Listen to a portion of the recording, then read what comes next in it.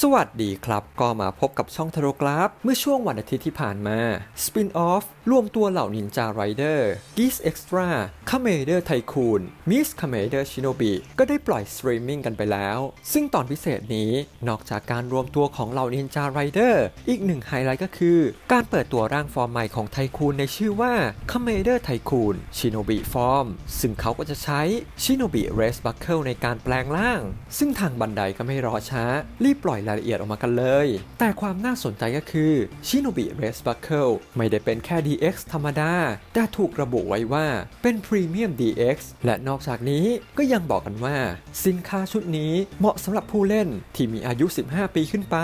ก็ทำเอาหลาย ๆ คนสงสัยกันเลยนะครับว่า Premium DX คืออะไรกันแน่ แล้วมันมีความแตกต่างจาก DX ปกติยังไงกันบ้าง ซึ่งจากบล็อกของทางบันไดก็ได้ทำการอธิบายเอาไว้ตามนี้นะครับ ของเล่นในซีรีส์ DX ตามปกติแล้วจะมีกลุ่มเป้าหมายที่ผู้เล่นอายุ 3 ปีขึ้นไป แต่ Premium DX ก็ยังคงเป็นของเล่นแบบ DX เหมือนเดิม แต่ทำการรีแบรนดิ้งเพื่อตั้งกลุ่มเป้าหมายที่ผู้เล่นอายุ 15 ปีขึ้นไป ท่ามกลางสินค้าหลาย ๆ ชิ้น ที่ขายผ่านทางพีบันได ทางทีมงานก็ได้ตัดสินใจ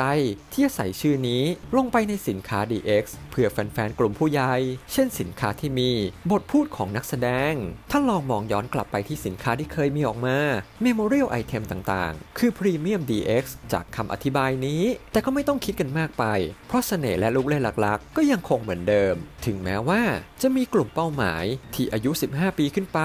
มันก็ยังคงเป็นสินค้าแบบ DX อยู่ดี และก็ยังคงสามารถเล่นร่วมกับ DX แบบปกติ ที่มีกลุ่มเป้าหมายอายุ 3 ปีขึ้นไปได้อีกด้วย ซึ่งในกรณีนี้ก็คือ DX Desert Driver แต่ในกรณีของ CSM ที่ตั้งกลุ่มเป้าหมาย ไว้ที่อายุ 15 ปีขึ้นไป ก็ไม่รับประกันว่าจะสามารถเล่นกับ DX แบบปกติได้ ซึ่งสินค้าชิ้นแรกในซีรีส์นี้ ก็คือ Premium DX Shinobi Race Buckle นั่นเอง แล้วเราก็มาลองดู ลูกเล่นของ Buckle ตัวนี้กันบ้างก็น่าจะพอทำให้เราได้เห็นภาพกันมากขึ้น ลูกเล่นแรกก็คือ มีเสียงในการแปลงร่างเป็น k a m e d e r Tycoon Shinobi Form ลูกเล่นที่ 2 การใช้ท่าไม้ตาย ซึ่งถ้าดึงคันโยก 2 ครั้งก็จะะเป็นท่า Shinobi Victory ซึ่งท่าที่ 2 นี้ไม่ได้มีใช้ในเรื่อง และลูกเล่นที่3 Shinobi Race Buckle ก็จะมีบทพูดของเควะ และนอกจากนี้ก็ยังจะมีการพูดชื่อของ Race Buckle อีกด้วย Premium DX Shinobi Race Buckle ก็จะมีราคาอยู่ที่ 3,630 เยน เริ่มจัดส่งสินค้าในเดือนตุลาคม ปี 2023 ภาพรวมก็ต้องบอกว่าดูแทบไม่แตกต่างจาก DX แบบปกติกันเลย ยกเว้นในส่วนที่มีบทพูดของนักแสดงผมเองก็คิดว่าการที่บันไดแบ่งลายออกมาชัดๆ แบบนี้ ก็คงจะต้องการแยกหมวดหมู่สินค้ากันอีกทีหลักๆก็คงจะเป็น item ที่มีเสียงของนักแสดง และอีกอย่างที่ผมคาดเดาก็คือ ในช่วงหลังๆ มานี้ ก็มักจะมี driver ที่ราคาสูง อย่าง Demons Driver หรือ Vision Driver ที่ด้วยราคามันก็ไม่ได้สำหรับเด็กอย่างแน่นอน แต่พอต้องมาอยู่ภายใต้ซีรีส์ DX ก็เลยยังคงต้องทำให้สายเข็มขัด เป็นขนาดที่เด็กใส่ได้อยู่ ที่นี้พอโยกออกไปเป็น Premium DX ก็น่าจะขยายขนาดของสาย ให้ตรงกับกลุ่มเป้าหมายได้มากยิ่งขึ้น ซึ่งสินค้าในไลน์ Premium DX ที่มีข่าวลือว่าจะออกเป็นชิ้นถัดไปก็คือ Premium DX Laser Raise Riser พร้อมเซตการ์ดทั้ง 6 ใบ และ Premium DX โชกุน Raise Buckle สำหรับโชกุน ผมว่าเร็วๆนี้ ก็น่าจะมีข่าวออกมากันอย่างแน่นอน และอีกข่าวกับการบอกว่า Shin Kamen Rider จะมีกำหนดการการสตรีมมิ่งผ่านทางพรามวิดีโอ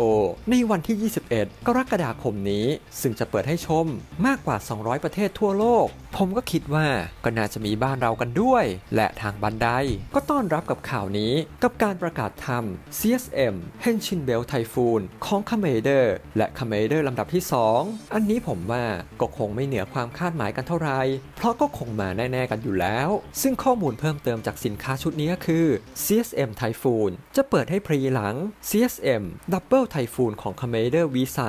และทั้ง 2 เส้นก็จะไม่ได้เปิดพรีพร้อมกัน แต่จะทิ้งช่วงห่างกันพอสมควร ซึ่งลำดับการออกก็จะเป็นของ k a m e d e r แล้วก็เป็นของ k a m e d e r ลำดับที่ 2 และนอกจาก CSM ก็ยังมี DX อีกหนึ่งเส้น กับเข็มขัดของ k a m e d e r ลำดับที่ 0 ที่มาในชื่อว่า DX Ultimate Half Typhoon รุ่นปรับปรุงจากต้นแบบสำหรับ Ultimate Half Typhoon ก็จะเป็นสินค้าแบบพีบันไดที่จะมีขนาดเท่ากับเข็มขัด Typhoon 2 เส้นที่เคยออกไปก่อนหน้า ซึ่งกำหนดการเปิดจองและรายละเอียดต่างๆ ก็จะมาเพิ่มเติมในวันที่ 21 กรกฎาคม วันที่เริ่มสตรีมมิ่งของ Shin Kamen Rider นั่นเอง เป็นยังไงกันบ้างครับ กับเรื่องราวของสินค้าลายใหม่ Premium DX ที่ก็ยังคงเหมือนเดิม แต่เพิ่มคำนำหน้าให้ดูไฮโซกันมากขึ้น ส่วน Shin Kamen Rider ใครที่พลาดาดดูในโรงกันไป เดือนหน้าก็จะเริ่มปล่อยสตรีมมิ่งกันแล้ว คราวนี้ก็จะได้มีเวลาหยุดดูพวกฉากมืดๆกันสักที และในส่วนของเข็มขัดแบบ CSM กับแบบ DX มีใครสนใจกันบ้าง แบบ CSM ผมก็คงไม่ได้เก็บนะครับ แต่แบบ DX เดี๋ยวขอลองดูรายละเอียดกันอีกทีถ้าน่าสนใจก็อาจจะจองกันก็ได้ แล้วคนอื่นมีความคิดเห็นอย่างไรกันบ้าง ก็ลองมาพูดคุยกันได้ด้านล่างนะครับสำหรับวันนี้ก็ขอขอบคุณสำหรับการรับชม ไว้พบกันใหม่คลิปหน้า สวัสดีครับ